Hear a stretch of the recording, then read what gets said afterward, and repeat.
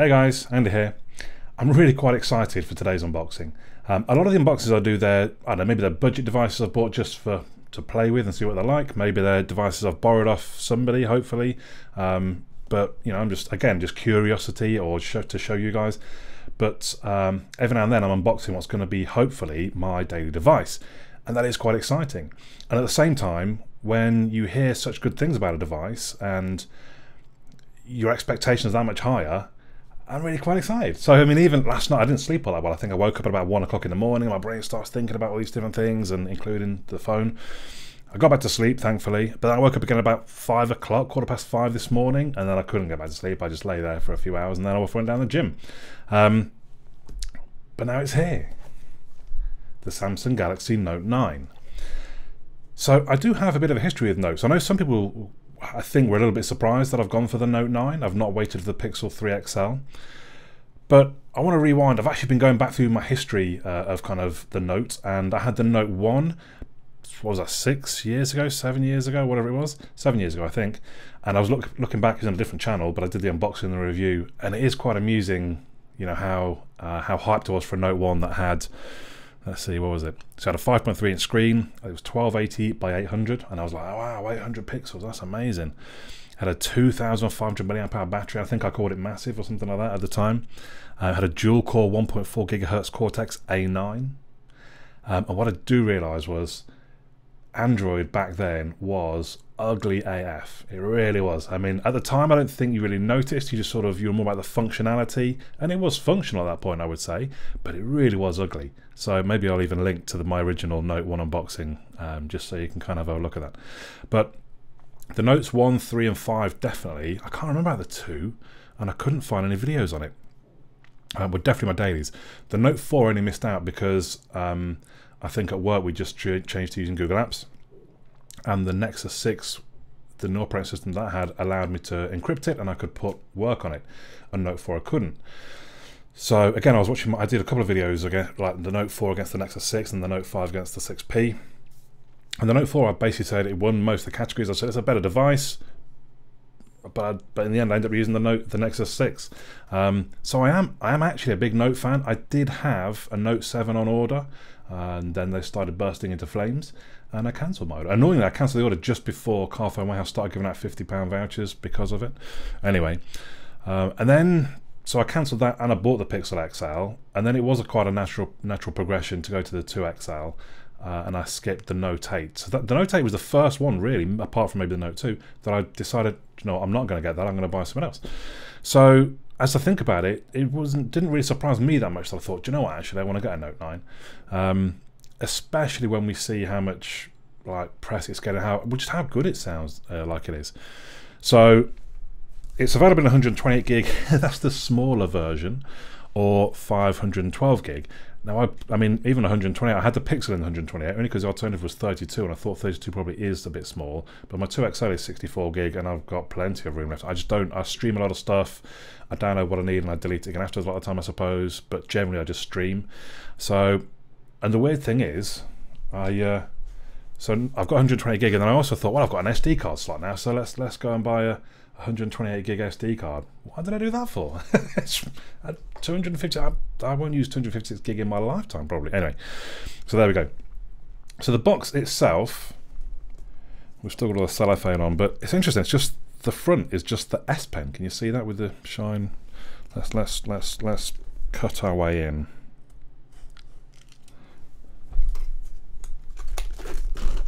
Now perhaps you can see a bit better. So the front is just the S Pen, which is interesting.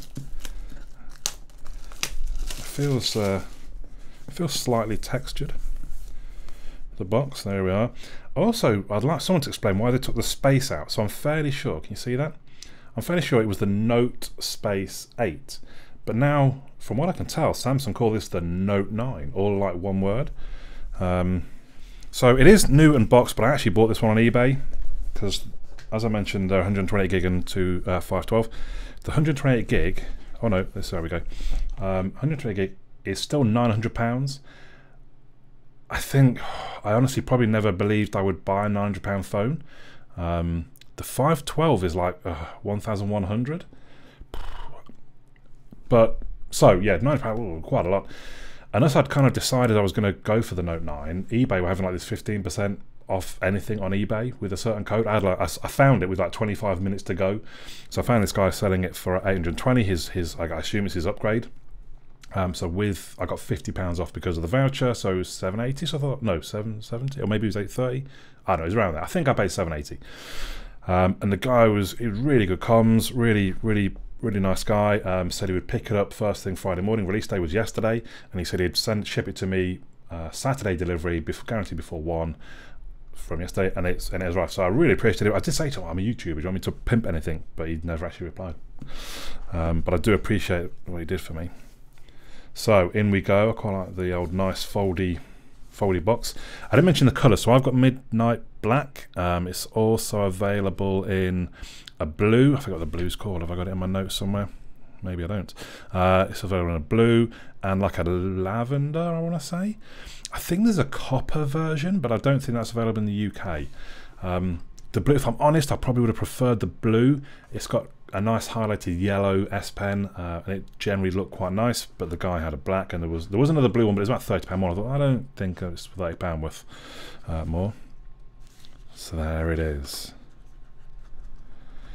first impression, just looking at it, it's, it's kind of thinner and taller. I always kind of picture notes as just being a massive big slab, but it's quite tall and thin. It does feel quite weighty, but it does feel good in the hand. It feels like a very nice device. So let's just put that aside for a second and see uh, what else is in the box. So, an adaptive fast charging power brick Oh, with a USB underneath it as... Oh, that is the USB, sorry. Yeah, okay. Um, oh, okay, that's a USB Type-C like OTG adapter by the looks of it. And that's, I'm assuming a micro, yeah, micro USB. Okay, that's nice that they include them in the box. The OTG, that could be handy. I mean, mind you, again, I've got so much space. Oh, AKG headphones. That's interesting. I did have an AKG microphone. It was pretty good. From I mean, I don't know these sort of products, but my understanding is that AKG are pretty good. I don't normally I don't I don't break out the headphones. I've got my own, so I don't know if I'll. Are they? Oh. So yeah, of course it does have big selling point. Three and a half mil jack. What else have we got in here? Some different um, earbud sizes. Oh, some nibs for the S Pen and the USB Type-C cable now, which I've got plenty of charge for that.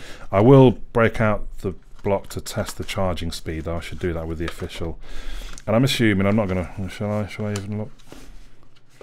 I won't worry. That's just going to be the all the stuff we already know about.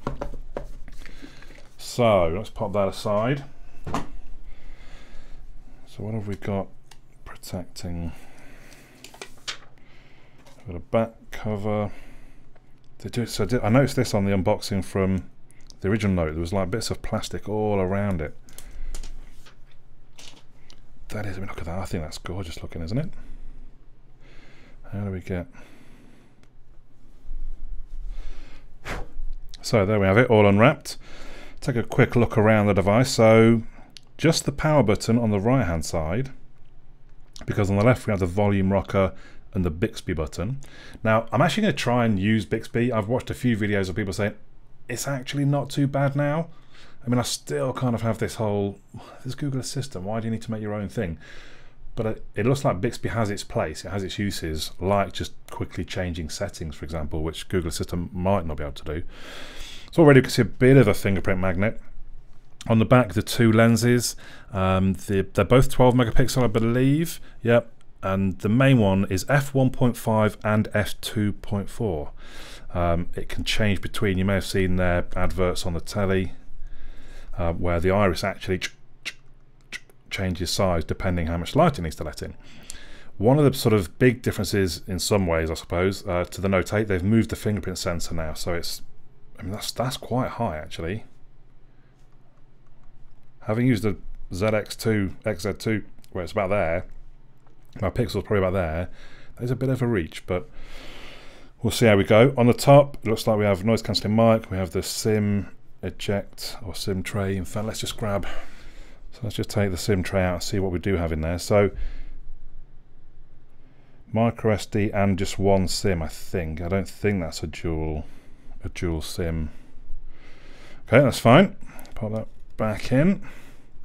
On the bottom, uh, the three and a half mil jack, the Type C charging port, and I guess the speaker. So it has apparently got stereo speakers, which apparently are very loud. And of course, the S Pen. Now, the S Pen is one of the other big changes to the Note 8 in that it's got Bluetooth built in. You've probably already heard about this, but it's got Bluetooth built in, it's got a superconductor in there. You pop it in for 40 seconds and it will charge the S Pen for 30 minutes use. That's, that's pretty crazy, really. Um, and even then, it's only 30 minutes of the Bluetooth element. If you want to just use it as a pen, you obviously keep going. It doesn't matter. It doesn't need the Bluetooth to do that. But if you want to use the functionality of the button, um, then you need the Bluetooth. And so if you imagine, even when you run out, you've all you've got to do is pop it in for 40 seconds and it charges. I think that's fantastic. It is a glass front, it's Gorilla Glass 5. The screen itself is 6.4 inches. I'm going to start booting it up at this point, hopefully. The screen itself, uh, 6.4 inches. It's 2960 by 1440. That is craziness. So that's 18.5 by 9 ratio, a little bit of a weird ratio in some ways. Uh, 516 pixels per inch. That is ridiculous. Um, it's HDR10 compliant. I've got to be honest, I don't entirely know what that means. And it's got an always on display because it is a Super AMOLED screen. Hi there! So, uh, what else can I tell you about? The front facing camera is an 8 megapixel f1.7. Uh, it says it's got dual video recording. I don't know quite what that means. I'll have to look into that. The front-facing, well, the rear-facing camera, just coming back to that, can film uh, two, no, 4K, 2160p at 60 frames per second. That's pretty impressive. So even 1080p can do 240 frames per second. That's very impressive. The front-facing camera will do 1440p at 30 frames per second. I think someone else was saying, maybe I was watching Mr. Mobile or something like that. That is, it is the only front-facing camera that will do, I think that's 2K. No other ones on the market will do 2K. Uh, we should have Android 8.1, or the other thing, well, I suppose two things that I've not really mentioned. Well, actually, there's a lot of things I've mentioned, sorry, we'll get to it. So, I just caught a glimpse of the battery specs on my spec sheet. 4,000 milliamp hours battery. Excuse me, battery. That is impressive. So the Note 8 was 3, 3? And I did have to, when I heard they put a 4,000 milliamp battery in it, hang on, the Note 7 was exploding and bursting into flames because they crammed too much battery into it and they've just put another like 500 milliamp hours into the Note 9. But apparently they've got water cooling. Water cooling in a phone. But by all accounts, works amazingly well. And the battery life, by what I'm hearing, fantastic. So I'm really looking forward to testing that out. Now, I realize I've not actually gone through the sort of the main the main specs. So the chipset is an Exynos 9810 I've got to be honest, I don't know what that means. It's the equivalent of the Snapdragon 845, which would be the sort of US and China and things like that. Um, the CPU itself is an octa-core 4 by 7 point, 4 by 2.7 gigahertz Mongoose M3, um, and a 4 by 1.8 gigahertz Cortex A55. The GPU is a Mali G72 MP18. I don't particularly know that means either. So very interesting when I do some benchmarks which I'll do later in this video. Uh, it's got an iris scanner, obviously got NFC, um, and it's also IP68 dust waterproof, which is up to one and a half meters for 30, sec uh, 30 seconds, 30 minutes, which is pretty good. So I think at this point, this is when I log into everything. Um, I'll install a couple of bits like uh, Geekbench, and then I will come back to you. Just briefly interrupting uh, my setup process to, to see this, I suppose. Setup intelligent scan security. So it uses a combination of your face and your iris scanner apparently. Um, so I thought we'd stop and have a look. So let's let's do. So a smarter way to verify.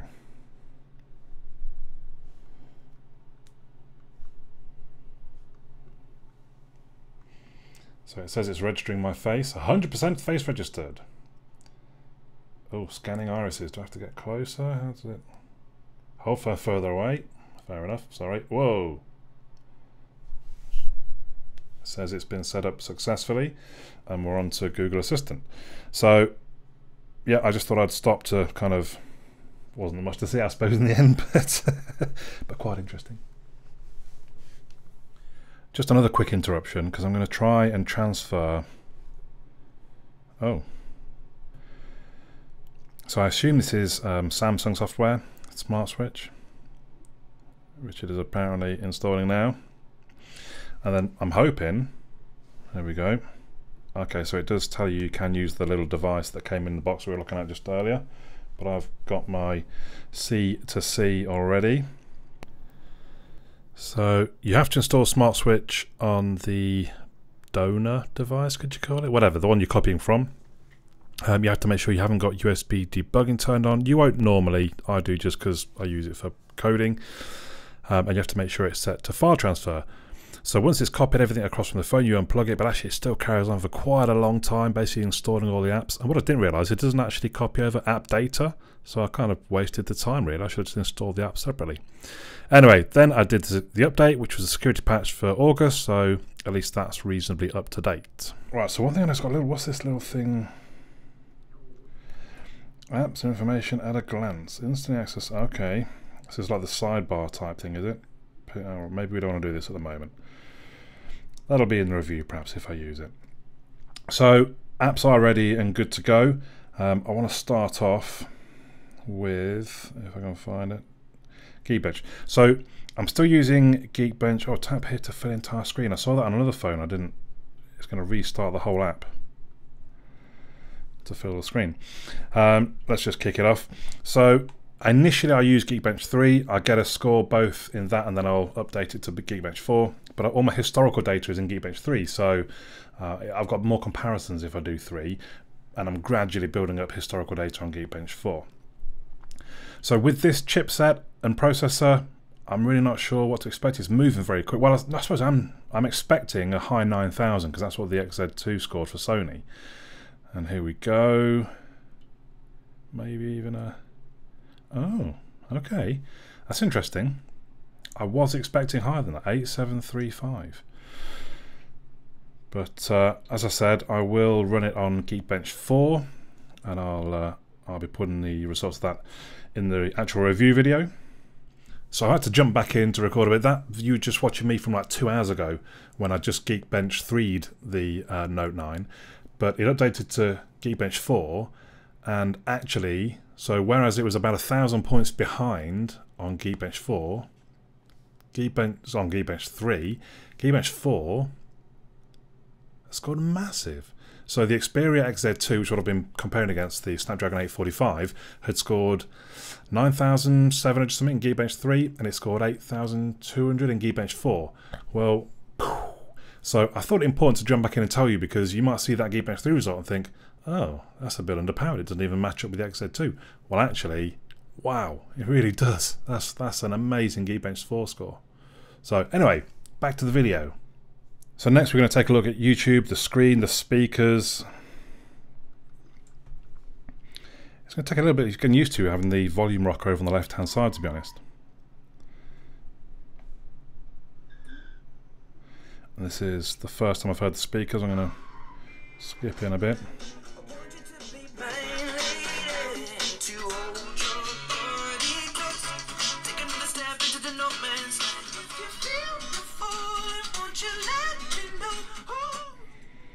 I would say that sounds very good. Very good.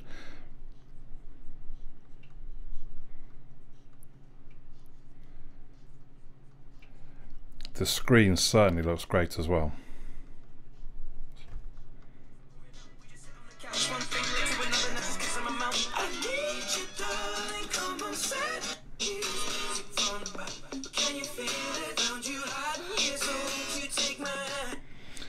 So I've got to be careful there because YouTube don't like me using it's the visual they catch up on rather than the sound, which is a little bit weird. Um, but hopefully that's not too much that it gets it pulled down from from YouTube. Um, so yeah, screen. I mean that screen. It looks. It does look fantastic. I'll get my light meter on it for the actual review, and we'll see how bright it goes. But I mean, just the way it seems to have lit up when when we've gone into YouTube. Oh, oh, wouldn't even see what that said. Fine. All right, but still let me do it. That is that is crazy bright. Really is. Um, now, I'm going to check the camera in a second, but also let's try what happens when I press the Bixby button at this point. All right. Hello. Hi, welcome to the all-new Bixby. Hi, Bixby. Hi, Bixby. Great. You can talk to me anytime by saying hi. So, set screen timeout to two minutes. Screen timeout is set to two minutes. So that's where I see it being really useful. Instead of, uh, let's just try, show me my battery power. So rather than having to search through the settings, which are a little bit, in fact, let's, let's quickly look at settings. So it is Samsung settings. It's a bit annoying. So I was looking, where, where do you see power in that? Nowhere. Because actually it's in about phone. Battery information. I just, I don't know, I just wouldn't have thought, even then it's not showing me. So I think Bixby could be really useful for that kind of thing. Like uh, you just saw me changing the screen time out. Actually very easy.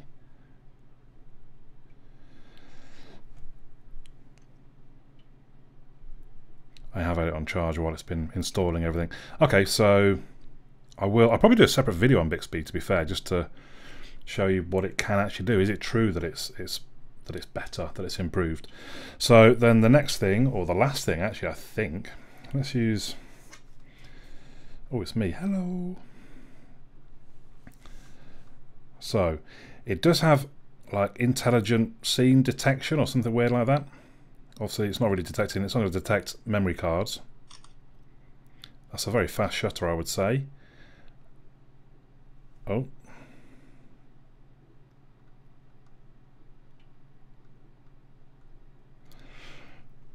And that generally looks, I would suggest, looks pretty good. Obviously, um, I need to do much better testing than that. I do like things that Samsung have, for, for example, on selfie mode. Let's see if we can do it around the camera. Putting your hand up uh, initiates the, the actual shutter. Now, obviously, oh no, so I did take some uh, photos outside during the my break, so to speak.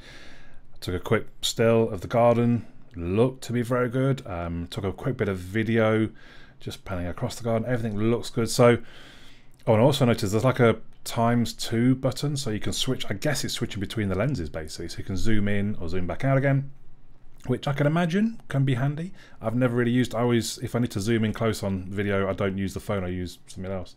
But yeah, I can imagine actually that'd be really handy. Uh, I do want to try because we haven't yet pulled out the S Pen. or S remote. Press the pen button to take pictures. Control music. No, it's not. Oh, there we go. So we have all. the, Now I say all the usual. Probably since I last used it, these have changed quite a lot. So you can just simply create a note. Testing. We don't particularly need to send that. I like the smart select type thing so you can, oh. What are we looking at? Unlock with, okay. Yeah, I don't think I do one actually. So you can unlock the phone using just the, using the button on the S Pen. Uh, I'm clicking confirm without even reading that one. So we can just draw around it and then do things with that. Pin to screen, whatever, whatever, that's fine. And I think, so there we go, even do an animated GIF of a, of a video playing. We can change the, the shapes. All pretty cool, I think. How much I'll actually use it, we'll wait and see. Screen live messages, translate. Oh, add shortcuts, so there's others.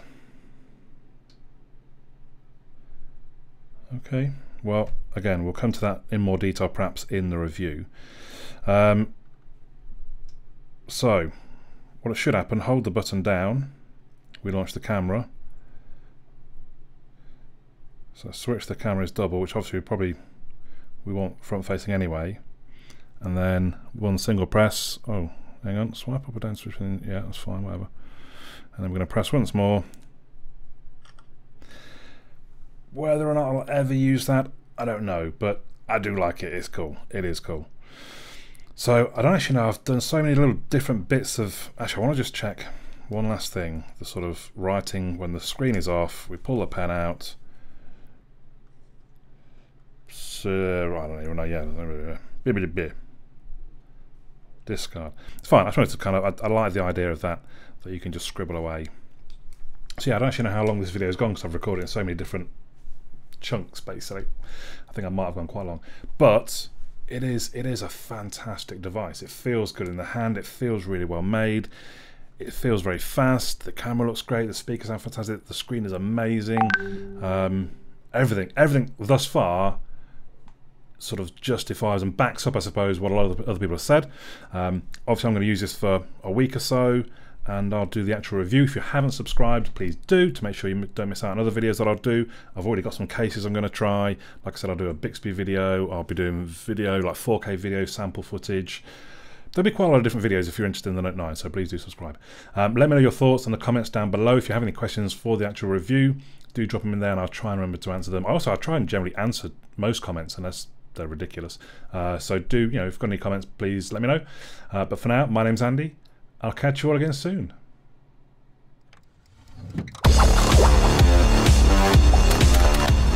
Well done and thank you for making it to the end of the video. Hopefully you enjoyed it. If you did, you might want to click the little fellow that should hopefully appear about here to subscribe.